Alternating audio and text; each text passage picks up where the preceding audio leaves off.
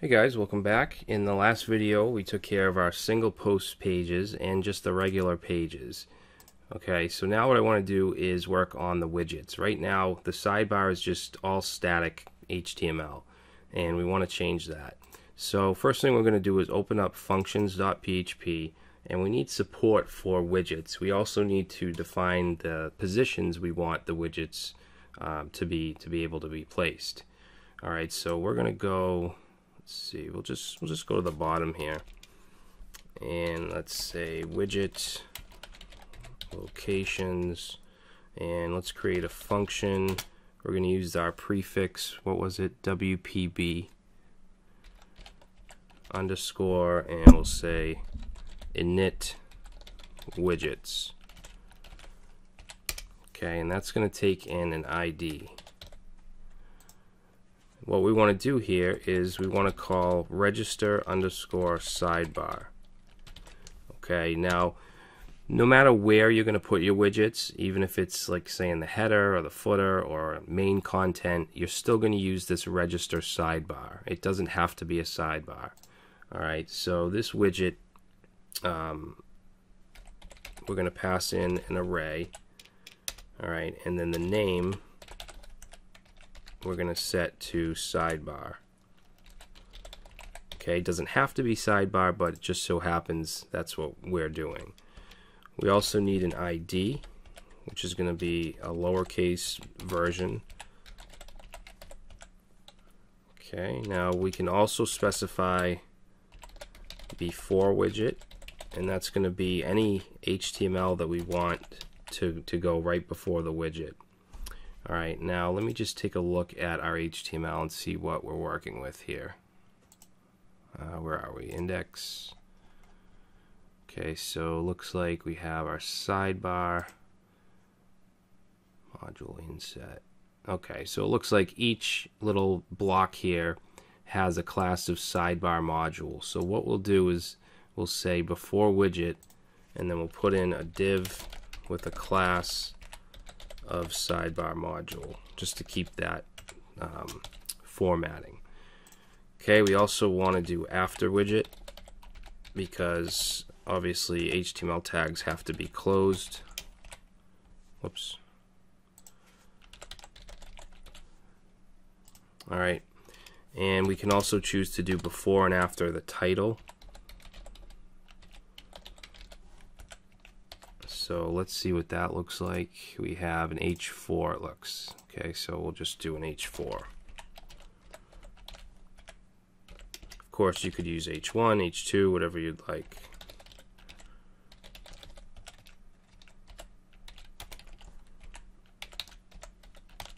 Okay, so that's our widget. Now, in order for this uh, this to run, we need to uh, we need to hook it in using add action.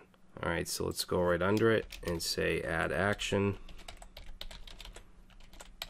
And the hook that we want to use is called widgets init.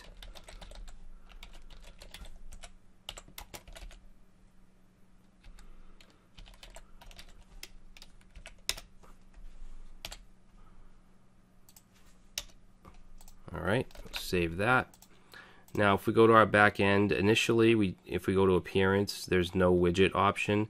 But since we added that, now if we reload, you should now see a widgets option. Click on that, and you can see we have a sidebar widget.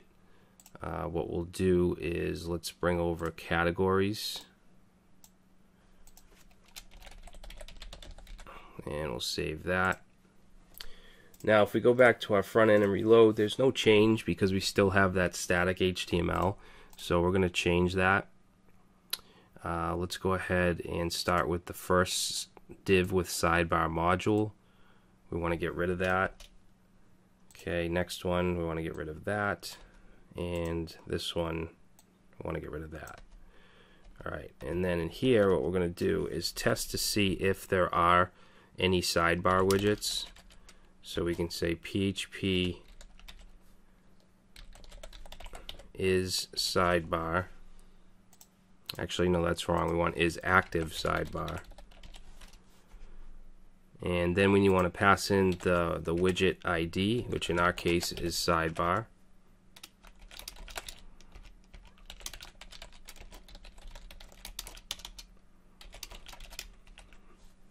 okay and then if there is then we want to say PHP dynamic underscore sidebar okay again pass in the ID of sidebar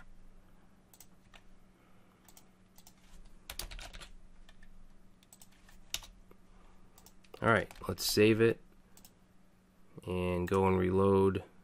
What's this? Unexpected. PHP is active. Oh, I didn't do an if.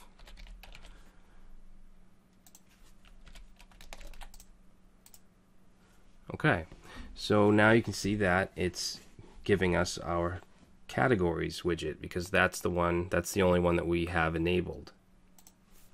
If we go back and let's say we want the archives widget, we'll put that in there.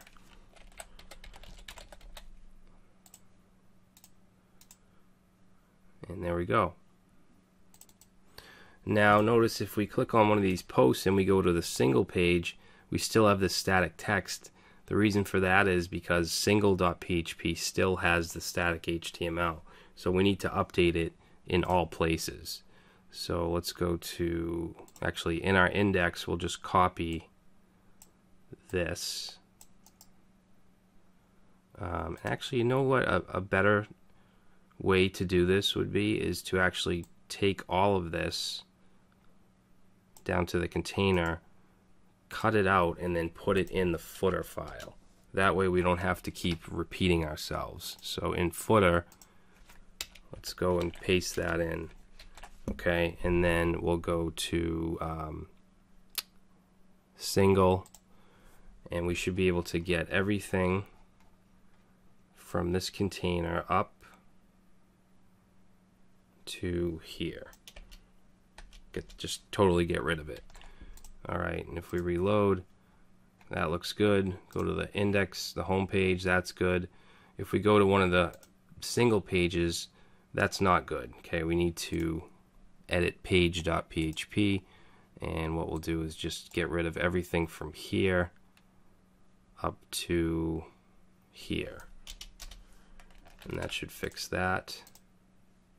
Okay and I think that's it yeah so now we should have our sidebar widgets on every page and if we click one of these categories it'll take us to a page that only has the post for those categories which is what we want now, if you wanted to edit this or create a custom layout for that, you could go ahead and create a new file called archive.php. And if I reload now, it's totally blank. So what we can do is copy everything in the index, paste it in archive, reload, and you could do what you want here. But I'm just going to leave it as is. There's not really anything that I need to change.